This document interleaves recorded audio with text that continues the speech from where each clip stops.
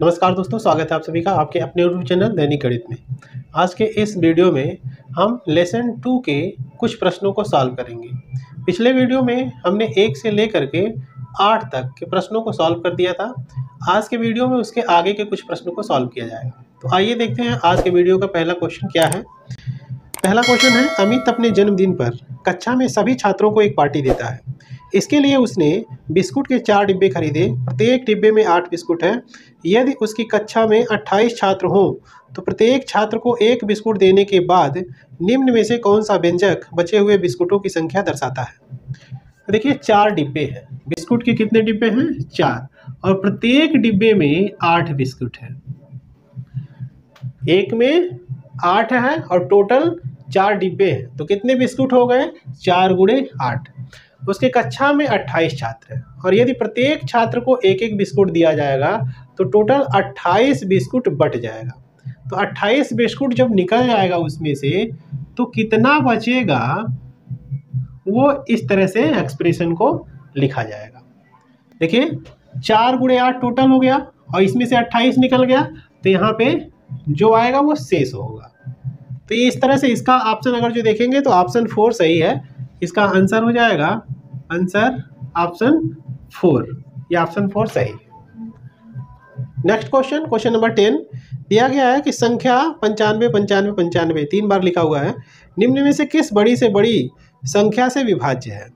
तो देखिए, nine five nine five nine five, ये दिया हुआ है। और ये पूछ रहा है कि किस जो ऑप्शन दिया गया है, उसमें किस बड़ी से बड़ी संख्या से ये पूर्णतः विभाज्य है।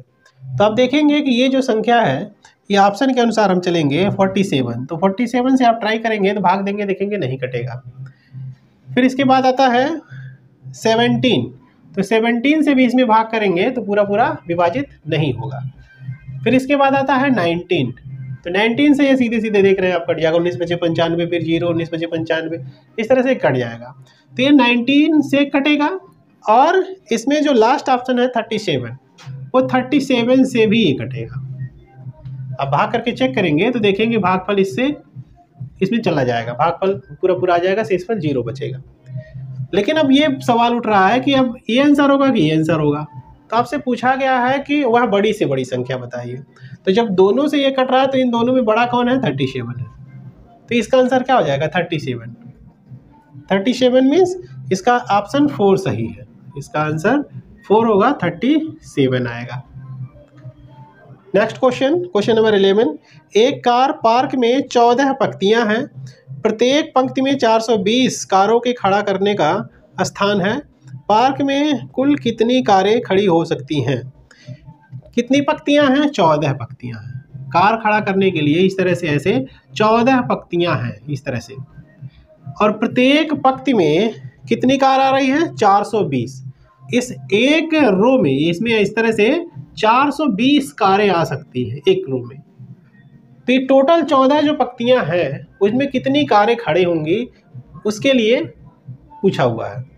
तो देखिए, कुल कैसे पता चलेगा? दोनों का मल्टीप्लाई करेंगे तो fourteen into four two zero multiply करेंगे तो क्या आएगा? देखिए, ये ज़ीरो हो जाएगा। चौदह दुनिया अट्ठाईस और चौदह चौके छप्पन और दो अट्ठावन। ये पाँच हज़ार आठ सौ अस्सी। तो इसका आंसर पाँच हज़ार आठ सौ अस्सी होगा। तो इस तरह से इसका ऑप्शन नंबर फ़र्स्ट ये ऑप्शन फ़र्स्ट सही है। इसका आंसर क्या हो जाएगा? Option first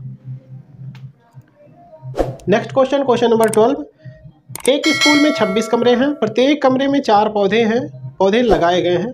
यदि एक पौधे में दो कप पानी डाला जाता हो तो कुल कितने कप पानी सभी पौधों के लिए चाहिए? देखिए 26 कमरे हैं। टोटल 26 कमरे हैं और प्रत्येक कमरे में चार पौधे हैं। कितने हैं? चार। तो कितने पौधे हो गए? एक कमरा में चार पौधा है तो 26 कमरे में कितने होंगे? 26 गुणे चार। तो ये कितना आ जाएगा? एक सौ चार आ जाएगा गुणा करेंगे। देखिए, चार छक्के चौबीस, चार दुनिया आठ दो दस। तो एक सौ चार पौधे टोटल हो गए। अब ये कह रहा है कि एक पौधे में दो कप पानी डाला जाता है। तो अगर जो एक पौधे में दो कप पानी डाला जाता है तो पौधों की संख्या ये है।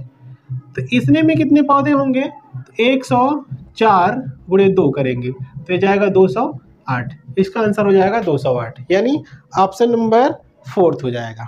इसका आंसर क्या हो जाएगा? Option fourth.